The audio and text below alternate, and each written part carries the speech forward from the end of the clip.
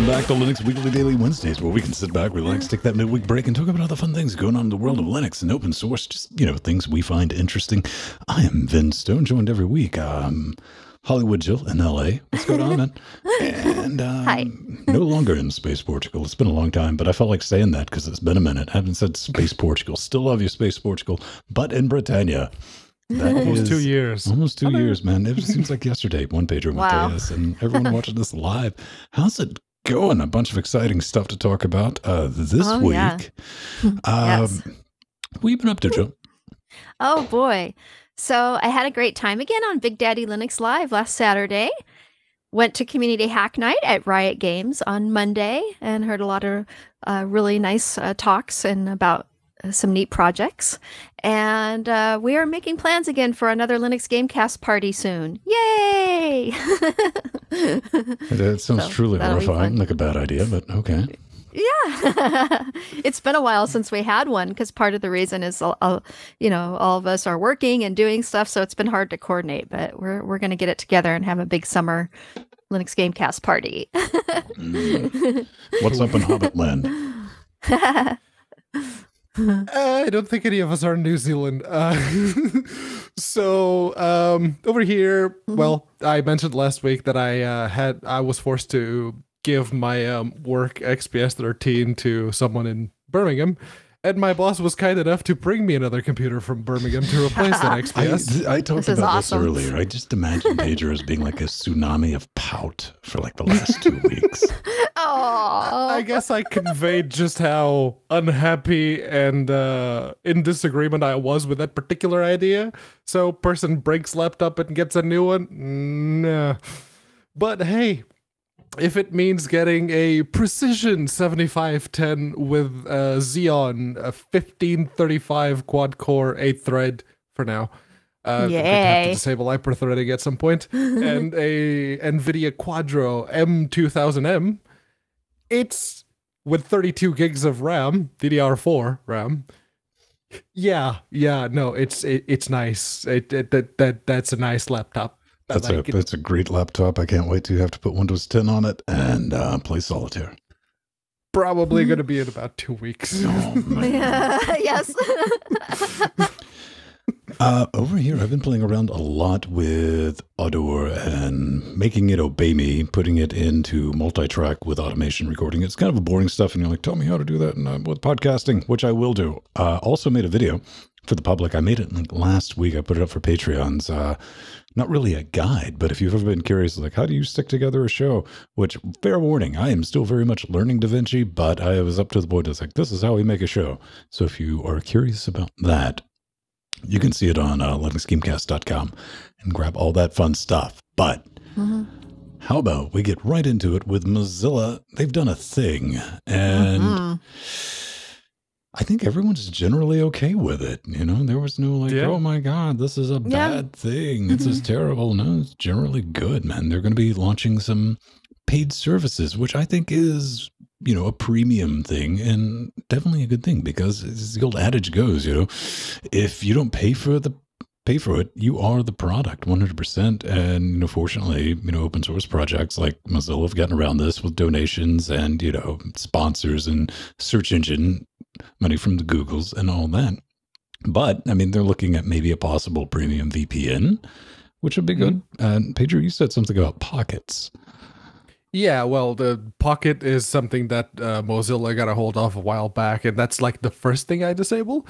And if that's one of the features currently in Firefox that uh, in Firefox that ends up being paid for, that's okay. It, it, uh, Mhm. again, I that's the first thing I disable with every new install. And yeah, if all the premium features are like extraneous and superfluous stuff that's coming in, like new stuff, I don't see the problem, honestly. Basically, anything that will help uh, Firefox develop without compromising on what's already there, I'm I'm good with. I'm totally down for it. hmm I totally agree, Pedro. And you know, we actually talked about this last October. Mozilla offering the Proton Proton VPN service for a ten dollar a month subscription. Maybe Mozilla realizes more services need to be included in the Firefox premium browser, other than just Proton VPN at ten dollars a month. when a cheaper VPN service are is available. So you know, maybe they realize, oh, we should put put more in that subscription or for the premium browser. And it also makes sense that the free version of Firefox will offer a limited VPN service like that of Opera and of course the Tor browser because because there are browsers that do. so that that makes sense totally. It's interesting. It's going to be kind of tricky because we definitely haven't, you know, you can't charge for a browser. Not since like 1996 or 1997, you used to have to pay for browsers, kids. Um, Yeah. I wish them the best of luck. I'd really like to see a, you know, I'd get them a check anyway for, you know, whatever they're going to do. You know, if it's five, ten dollars a month or a week or whatever, you know, that's fine.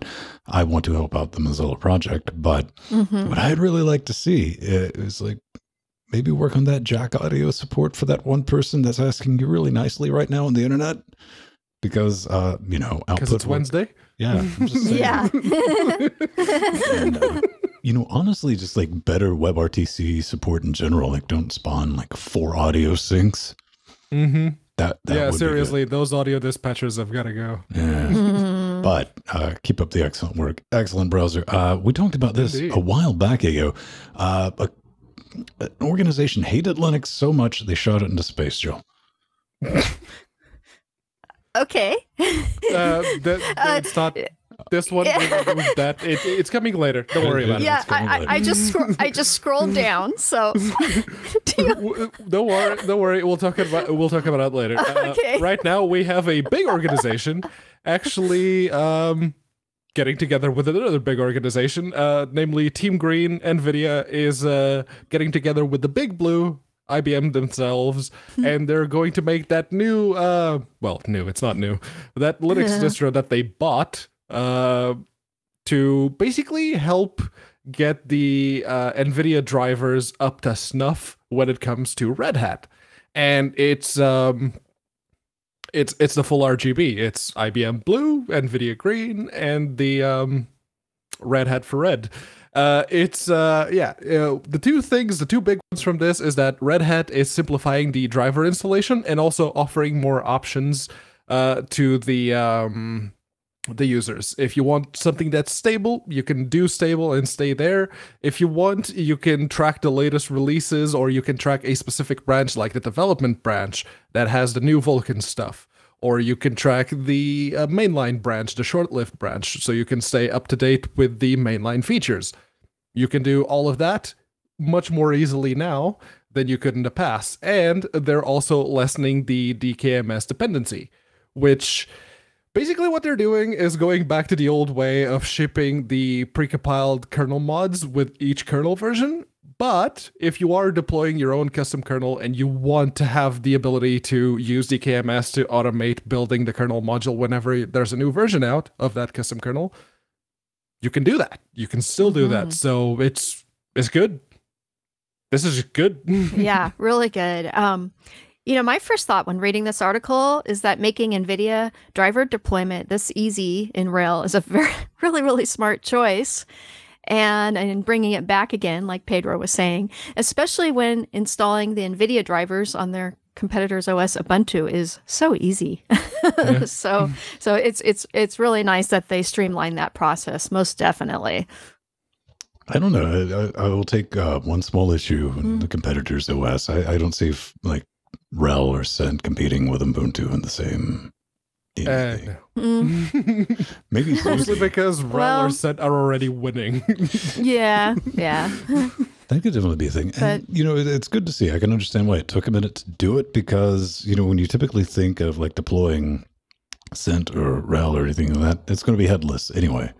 So I mean, you're, you're going to have a management system to do that, but getting that together where it's not so difficult, and you know, even Fedora works with Bumblebee, right?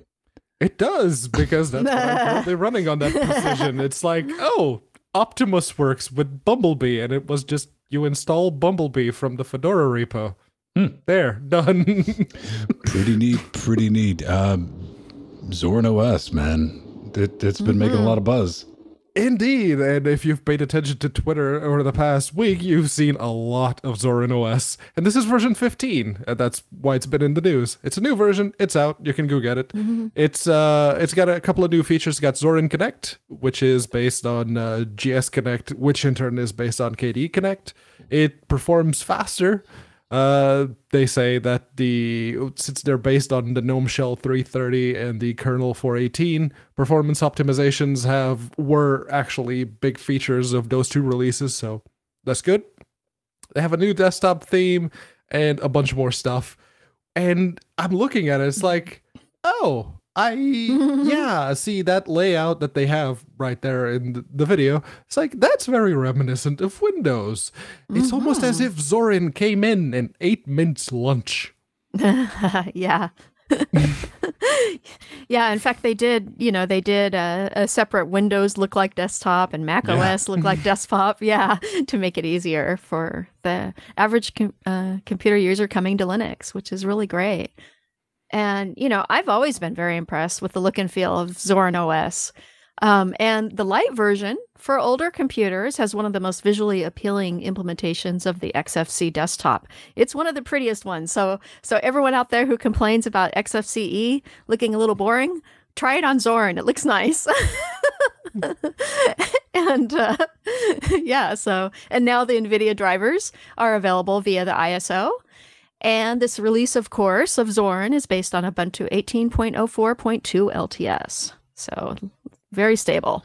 I think it looks neat. Um, Zorin Connect, 100% with that because that's going to Yes. be syncing your desktop notifications, SMS, shared files, and uh, media playback. That's out of the box. Good on them for that with the adaptive background. Night mode, that's out of the box. Also neat. And a to do app. And it's like, ah, I, I really don't see the point in that. But it's integrated with Google Task and Todoist. It's like, okay, you actually put some thought into this. And Mhm. Oh, shots fired. The future of Linux apps, Flatpak support baked in. Um, yeah. hmm, Yeah. that's also a thing. With the, what do you think about this, Pedro? I mean, it, it does ship with like a touch layout compatible setup. If you have like one of those yoga laptops, kids, make sure you got a yoga laptop before you like do the flipped eagle or whatever. yeah, it is, don't, don't don't flip the back unless yeah. Uh, but uh, no, that's interesting because during the uh, in the article when they talk about the touch things, Strider keeps telling me that uh, GNOME three isn't a uh, a touch inspired uh, desktop environment.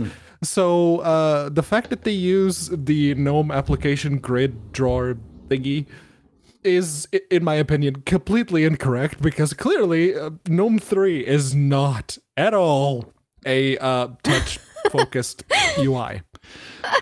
No, no, no. Through was designed to test uh, batteries for laptops. Like, To drain them as quickly as possible. Gotcha. no. um, okay, a couple of bits of KDE news. One with Kdenlive, new version, kind of. Yeah. Yeah, so Kdenlive 19.04.2 is out with lots of bug fixes and refinements. And there are fixes for compositing issues, grouping inconsistencies, and, and misbehaving guides and markers. And for me, one of the biggest fixes is sometimes Kdenlive would crash when opening old project files. They fixed that. Yay! so in the timeline, not scrolling when the cursor with the cursor has been fixed. That's always been an annoyance. I gotta because, say, man, uh, you Candy know. Candy. I'm on Windows. We're in the comments section. How can should I update Kit? Don't. Um, but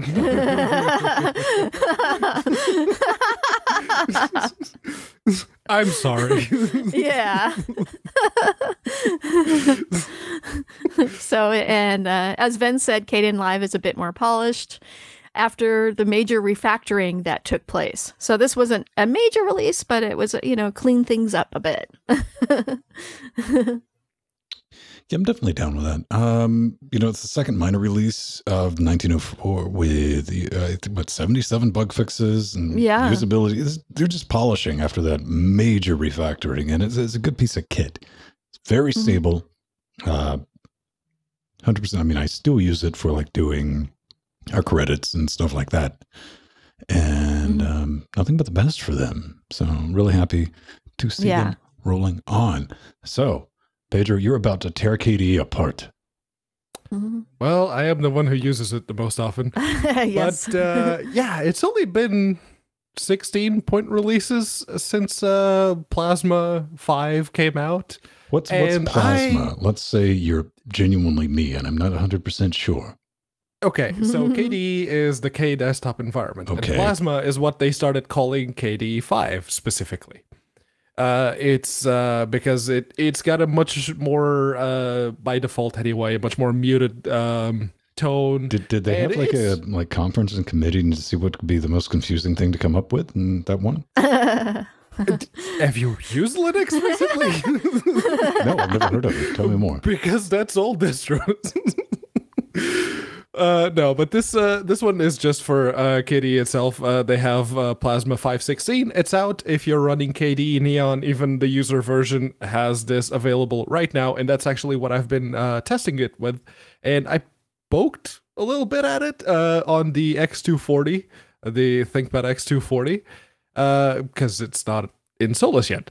And I do have to point out that it did take them all those 16 point releases since the since they moved from KDE 4 to KDE 5 to reintroduce a teeny tiny little bit of functionality which is completely superfluous but uh, it was functionality that was already there that they deliberately removed and 16 point releases later they are reintroducing which is the ability to go in and customize the theme for each and every individual aspect of the desktop which was something that was really nice to have in KDE 4 mostly because That's most of the in- themes okay. That that was always like one of the things about KDE, man. You could make it. yeah it, it's been there fugly. Yeah. since 3 A- Yeah. and they got rid of it with KDE 5 and people shouted at them and rightly so uh, Yes. and they are finally reintroducing that uh, now they do say there's like new notifications uh, the notifications they're all bundled together so if one application gives you multiple notifications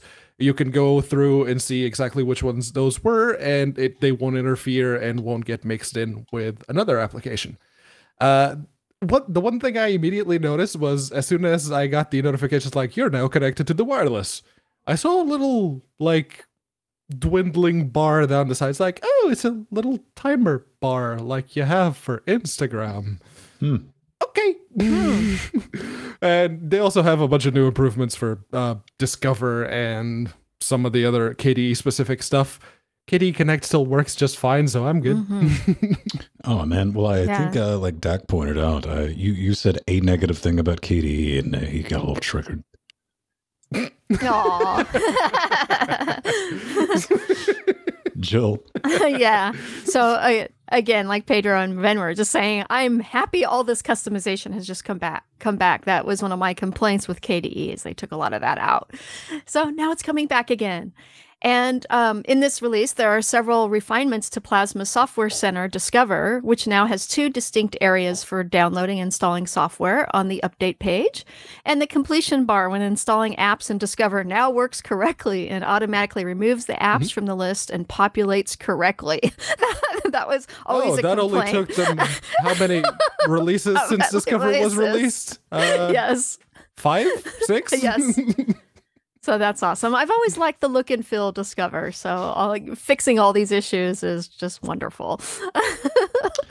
they need to Oh. gr- integrate better with Flatpaks. uh, no. yeah. Oh, yeah. Listen, man, I heard snaps of the future. Yeah. Uh-huh. yeah. Don't hate.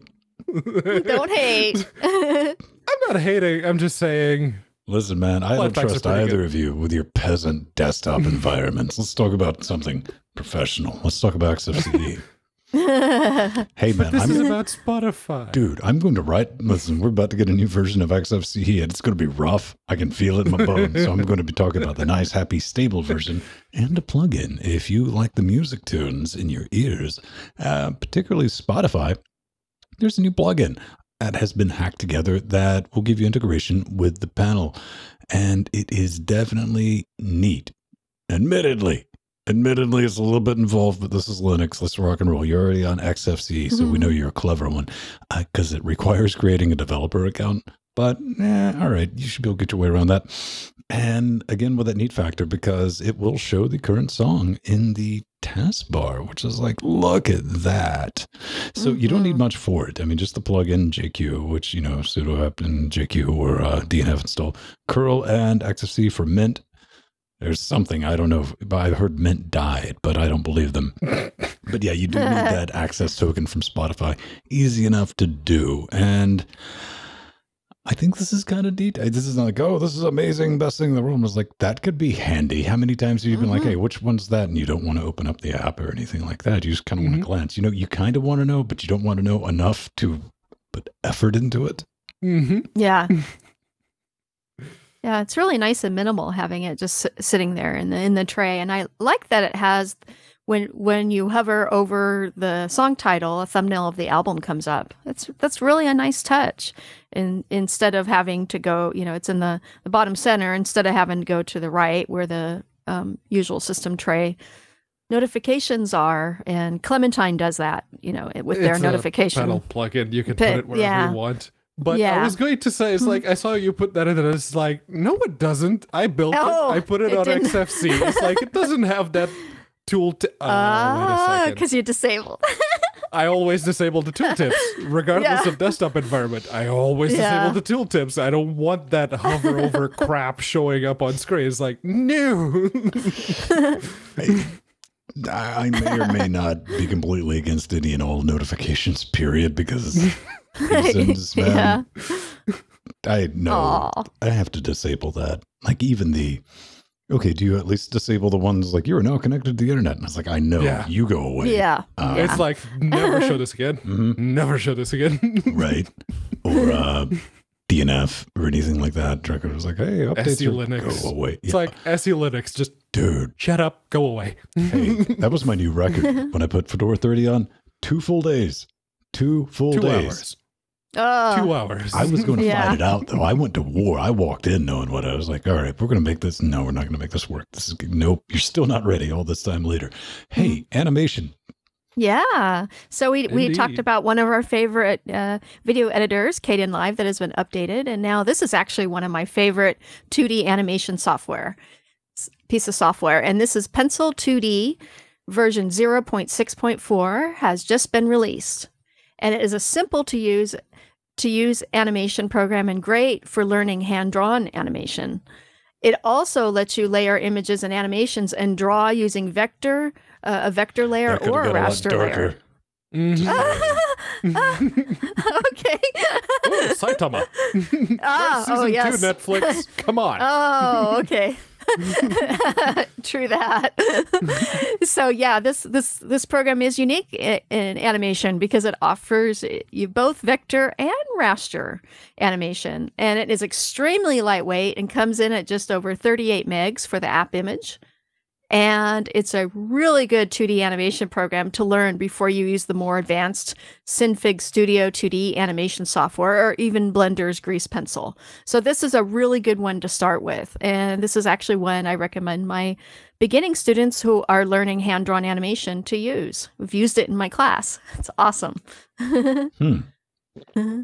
So how exactly does that work out? Because I got a friend that's an art professor, and he Mm-hmm. loses ninety percent of his class at the beginning when he's like, "We're making our own canvases." I'm like, no. Oh, So does that happen in animation? Like you're going to learn to draw by hand with a pencil and a pad, and they're like, "Nope." no, no, yeah. Oh boy, I even teach my students flip books. I mean, the Well, beginning that's students. definitely got to be like know, one of the things, though, because Yeah. there's going to be generations that have come in. and They're like, "What are you doing with rubbing graphite on pa- Yeah. a dead tree? What? What are you, a savage?" yes. What are you, a caveman? right. I think uh, you know it's definitely. I just wanted to give it a mention, man, because you know sometimes Yeah. I art myself, and this looks like you said easy enough to get into and play around Yes. with. Uh, they want to make the mention that uh, just in the future, uh, releases ending with even numbers will be bug fixes, which is always, always a good thing. yes. Now, This is a very good thing, especially if uh, you know you're living with someone who likes to draw a lot. And every now and then she mentions like, "I would like to start doing some animation. Do you know any Yeah. software for?" It's like, now I do. now Yeah. I actually do. do that, man. Get crazy. Get crazy with the cheese whiz. Like, get into it. Do, do things I do sometimes. It's like, hey, look, I'm going to learn to do the thing. Come back like, a week later. Like, so, what do you need to know about it? Um, Hello, young grasshopper. oh, right? Yes. Uh, you, you got to be careful going down those rabbit holes, man. Um, okay, let's pretend uh, that I didn't say this earlier because we made a last minute change to the show notes that yes. only made it about halfway through my workflow. Uh, Jill, the Linux Yes. server is coming home from space. It's V'Ger, and we're all doomed. Yeah, this is our, our our Linux supercomputer returns to Earth. So the HP Enterprises Spaceborne supercomputer, which was launched October 14th, 2017 on SpaceX's CRS-12 mission to the ISS, returns to Earth after 615 days on the ISS. It made its safe return on the SpaceX Dragon this week. Yay! So, and they wanted this computer there because they wanted to test how a commercially available computer would handle the rigors of space, and it worked beautifully despite a few hiccups. Having a super cute computer in space would also be a, great for long journeys into space, such as to Mars, and for scientific experiments. And we actually talked about this last November when nine of the 20 SSDs failed, probably due to cosmic rays. Mm-hmm. And I'm just, I, I'm not surprised that by this because pizza box servers for the win. And they can withstand the perils of spaceflight. They can withstand almost everything else. So, and so this didn't surprise me a bit. But there, there were only a few hiccups uh, with this deployment, and one was Yeah, one I of the astronauts. going- astronauts. yeah, so you want to talk I was about going it, to say, Pedro? don't gloss over those particular hiccups because Yeah, uh, one of the people up there turned it off. It's like, oh crap! yes. what do I do now? yeah. but it, it when it when they uh, turned it back on, it was fine. Again, Linux for the win. so Linux has truly progressed. It can be rebooted. Yes. Um, yes, you hear that, Jordan? You hear yes, that? it's that's that's really cool. That came back one piece. Everything works. Maybe they learned something. Um, you know, just Mm-hmm. quit quit treating uh, Linux like Matt Damon. Okay, yeah. hasn't done anything wrong. Keep it under. Yeah. It's brilliant. So You know, if a supercomputer can go into space, survive the journey up there, and then Yeah. survive the journey back down, yeah, Yeah, pretty good. That's pretty good. it is neat. Uh, one thing before we get out of here, this is the uh, opinion piece, maybe a way to put it. Hmm? This is yes. the ramblings of uh, someone who needed something to write desperately, and they had it's like, oh, wait a second, Facebook is evil. So let's say they're a threat to open source. They're the main threat to Wait. open source. Wait, hang on. It's Oh. Facebook is evil. Let's see. What do our readers not like? Uh, da, da, da. Oh, Microsoft. Okay, we got the we got part. Okay, we need to put part three in here. Open source. There we go. Yep. and uh, Facebook, according to this Linux Journal article, is uh, the main threat to open source.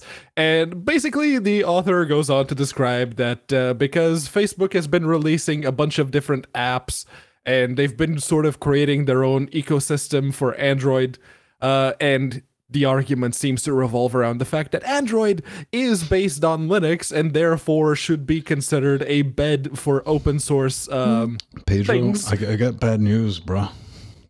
yeah. Fuchsia. Yeah, there's that. Google Yeah. is working on I mean, that. I, am but not it- saying like Yeah. this time next year Android's going to be a second class citizen, but it. mm, eh. Fuchsia will be a thing, yes, Mhm. but uh, yeah, Android has a big adoption out there, and l- people aren't too keen on updating their phones, as I know. Hi, Nathan. Still using the old phone, I see. Uh, yeah, no. So basically, the argument seems to stem like, oh, in comparison, WeChat in China has been doing that same uh, sort of creating their own environment in people's mobile devices and keeping them locked into that. And then people don't use uh, open source or free software on their phones. You know, their phones that are using Android. Uh, which, yes, it is running the Linux kernel, but there's enough Google not open source stuff in there that makes that entire argument moot. But uh, the biggest, I think, the biggest. Uh, Have you ever Leap. decompiled an APK, man?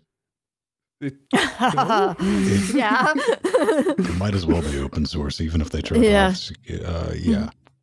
This, Yeah. is, this is kind of a joke. I, listen, man, to put a bow on it, I get the point, man. I mean, the, the whole is like, let's make our own Mastodon version of Facebook, which will work. Uh, open source, I think at the end of the day, uh, I mean, it's a tech. The, the whole principle behind it, the idea behind it, you can use it for good or you can use it for evil. And that's the trade off Mhm. with the GPL or BSD style licenses. You know, you don't get to, it's like, come here, um, put your finger in my morality detector before you can use this code. That's not how it works. It's never going to work like that, and it's better for it. And Mhm. neither Facebook or Microsoft pose any threat to open source. I mean, quit. There's no, there's no. I know you want to put like, hey, look, Boogeyman, but yeah, Mi- Microsoft, Microsoft is turning into a services Hmm. country, and Facebook is going to get legislated out of existence. It just Mhm. doesn't know it yet. Yeah. Joe, Uh, well, you know, they're trying to to uh, listen to Facebook is trying to listen to the future of a decentralized internet and would like to emulate what the WeChat app is doing in China, which with a bunch of the the small little apps contained in one big app. So, um, you know, that definitely is a thing, and and it would be a Facebook OS essentially at that point if it Yeah, and how do you go from like okay, so Facebook is creating their own environment, their own OS, as it were. Uh, how exactly is that a threat to open source? Is it a bigger Yeah. threat than Windows uh, was to open source? listen, man, I needed to finish meet my word count for the end of the month. oh, This is a fluff piece. It, it's something to read. Don't get upset about it. Uh, okay, Yeah. we need to get into a slice of pie. Before that, uh, we want to thank each and every one of you who are making this show possible because unfortunately, we can't do this absolutely for free. We got to pay those server bills. Actually, bandwidth bills, those are fun. Um, Mhm. but we do have a gang of people, and we call them Patreons. yay! Yes, We love you. it is brilliant. we have 117 of these awesome, fantastic human beings hanging out in chat with us right now, making not just this, but our big show on Saturday. We got streams on Tuesdays, streams on Thursdays, streams on Friday, and plans to do more. If you do kick us a few shekels, Mhm. we're like, hey man, can you spare four quarters a week? You get early access to our uncut series. I had to re-edit that. That's why it took so long. Didn't cut out content, but I had to fix the time sync. Uh, if you like our nonsense, there's an extra hour of content, audio version, for your custom RSS feed where you can listen to everything that's going on behind the scenes. We try to keep all that nice and interesting. Occasional, all right, let, us be real. There's a lot of movie reviews, uh, a lot of TV show reviews. Uh, yeah, this this definitely happens. Uh, we do have uh, all this stuff that you've helped us make. We do, we got Wish Zones. Pedro's got one. If you're like, hey, buy this thing. Um, Jordan has one. I have one for the studio. It's incredibly boring. Uh, a multitude of ways that you can help us do this. And if you're like, man, whatever, I just watch you. Support those who support Linux. Forget us. Go help somebody else because this is a community. This is a team project, and uh, Yeah. it's the only way we're going to get through it. So, thanks. for And uh, we also have new LWW merch, which I am No, we wearing don't. right now. Nuh-uh. oh come on, Jill, that's like two weeks old. That, that, that's oh, That's bootleg, hey, but it but it came last Wednesday after the show, so now I'm wearing it. this is true. We're horrible at marketing. We do have the um, Yes. store, which is at linuxgamecast.com. And go check that out. We got Frig shirts. We got uh, LG. We, we have our faces on shirts. This is the only shirt I do not and will not own out of our collection. And we have the LWDW Classic, which needs glitter, Jill. It needs bedazzling. I'm Yeah. disappointed. Uh, Okay. There's I plenty fix of open space there to add things. Yeah. like, Just ironically, just let Steve loose on it. Um, it could be truly horrifying with enough attention. that is brilliant. Thanks for letting us do this. Stick around. Your names and credits and all that. We try to say some of them. It is kind of fun. All right. Now, now, back to the show and back to the fun with the slice of pie. Dun, dun, Teeny dun. tiny tangential slice of pie this week. No, this is a big honking chunky slice of pie. This has got like three extra peas in it, man, because Oh, you you you mean thick as in Yeah. two C's? Yeah, Okay, three C's, three C's, man. three. Okay. I, I have invented new thickness technology. this is bigger than the pie. You know what? It's a damn tablet, a, a damn Yeah. Linux tablet. Suck it, YouTube. That's- You're going to demonetize everything we do anyway. So, uh, this this has been like a unicorn glued to some jelly toast. Uh, this is something we've all wanted, and no one's bothered to get around to actually making it. So, the author here, uh, it's like, you know what? I'm, I'm going to make my own. You know, and it's got blackjack, right? So. This is going to be rolling a Jetson Nano, uh, the 64-bit ARM CPU, and it's 128 core and all that, with the NVIDIA GPU, four gigs of memory RAM, and smashed everything down into. Well, this is the current plan right now. Uh, tablet form factor. Now we're not talking ultra thin or pager. We're talking like DS9 tablet, right? Yeah, we're talking about like uh, half an inch thick, Mm. uh, Yeah. counting for like the back plate. But this the isn't just taking everything apart and like flattening it out in hot glue. I mean, dude's making his own breakout Yeah. Yeah. Yeah, uh, yeah, no, that's a Jetson Nano with everything desoldered off it. Mm. this this is a good idea and he kind of walks through some of the issues he's like oh wait a minute that's display port's got to be wired up like that it's backwards but progress is being made hmm why we look at it i mean it, it looks industrial but i'd carry that around Yeah, no, I'm Mm-hmm. completely unopposed to an idea of like a thicker tablet. And the base concept, even for like the hardware that, that he picked, it's like that's solid. Something which can browse the web, play videos, and run some apps at the same time, Yeah. all while providing a smooth experience. And if we've learned anything from Mm. past attempts at that particular dream, is that it's a bit of a unicorn to l- nail down. So, no, seriously, do it. do create something out of this that people can actually make or buy already made. We need this. yeah. This is great. We definitely need something successful in this area. You know, I've always wanted a modular portable device, and there have been several cell phone projects that have never came to fruition, such as the Fairphone 2 developed by Fairphone, which was the the first uh, modular um, cell phone. And it would be actually, I think I would like this better as a tablet than a cell phone, just because you know a tablet is a, a consumption device you often use at home, and even though it's it's it's thicker, but that's okay when you're at home using it. so And if you're laying down in bed, sense. it's already resting on your chest. Yeah. It's like, okay. yeah, it's just a little thicker and heavier, no biggie. I like the mm-hmm. idea. And yeah, maybe it depends on what the Jetson power usage is. I don't think it's astronomical, but here's the thing. I mean, if you're going to build something extra thick, you can put a big battery in it too. That's what I'm saying. Yeah, Have you ever cracked going to be open an lot of free iPad? It's there. 99% battery, man. There's like one little Yeah. compute board in it. so I'm down with that. And I don't understand. I, I guess maybe it's just the market because there's a bunch of things. I remember when like the Surface Book or the f- tablets, it's like, yeah, and they're like, yeah, we've locked this thing down. I'm like, boo.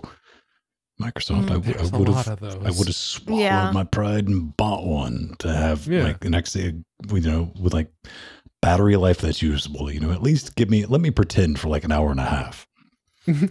a day. Did you know like the unicorn of the 16 hours of active use of battery life? That's what people want in a tablet. And you know, th- this is based on the Jetson Nano. Uh, that Shield tablet that I have has been going on for way past its recall date because it was recalled.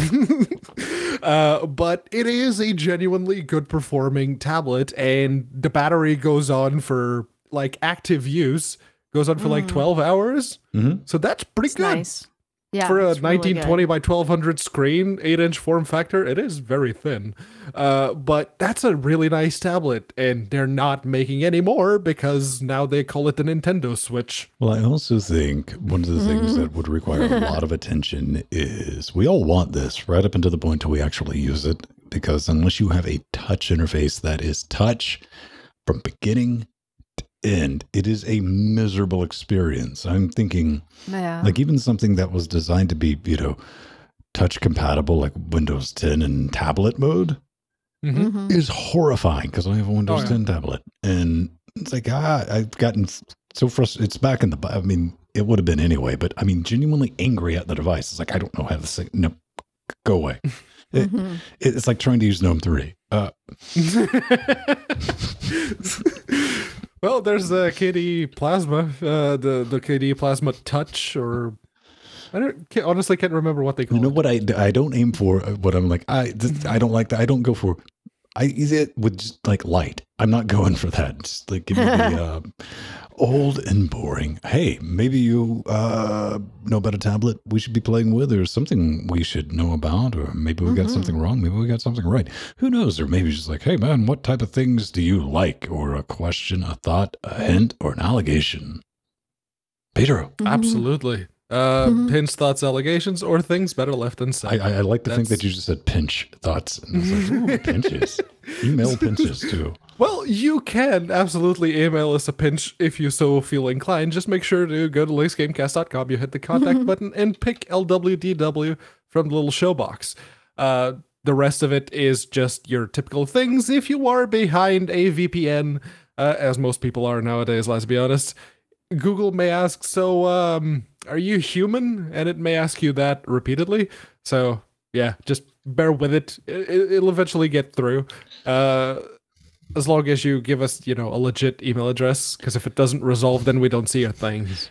It, it our, our spam column's pretty brutal. I, I mean, I check it once a week to make sure nobody got trapped in the uh, machine. But yeah, that that's pretty interesting. That thing is very frighteningly efficient. And Yeah. yeah, and uh, what do we have? Oh man, Frezzo. Hey, buddy. Frezzo. Yeah. That's why you showed up. You're like, ah, what if they're going to read the thing? I better show up live just in case. Here you go. Good, Frezzo. Your reward.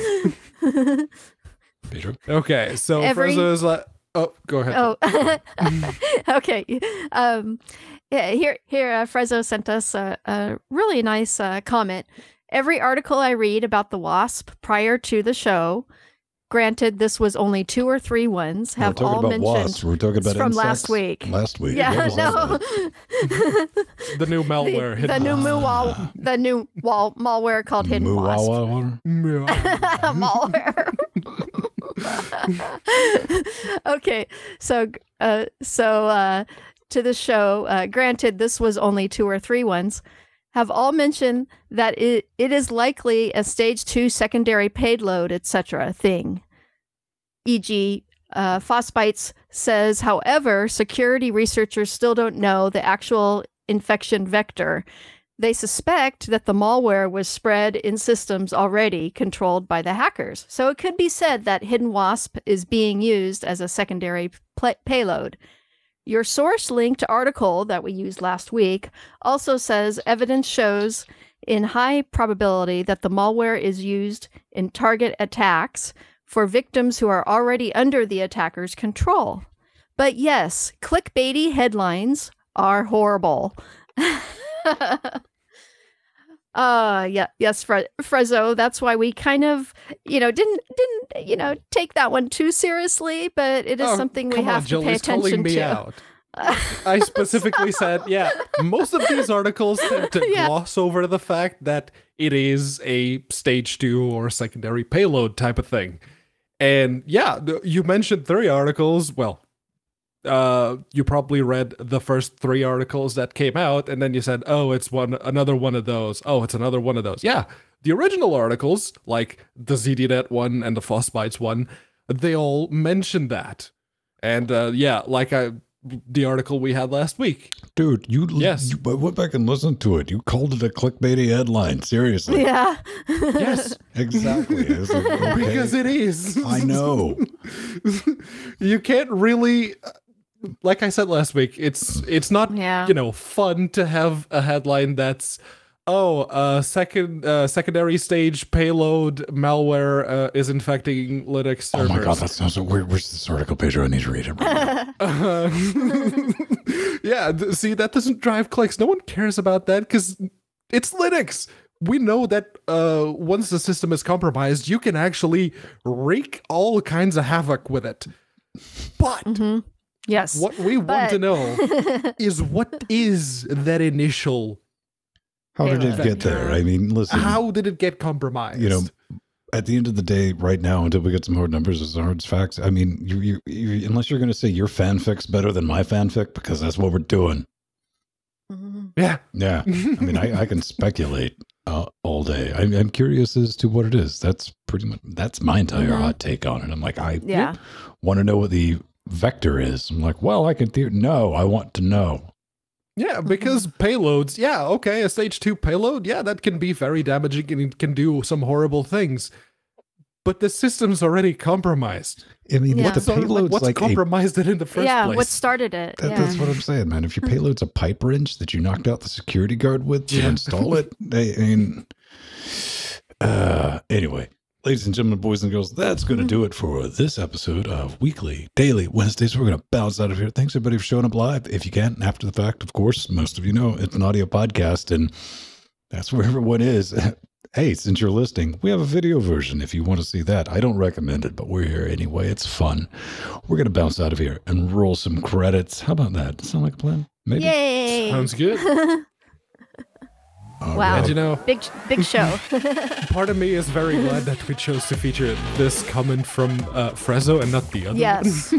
That was a screechy Riri comment.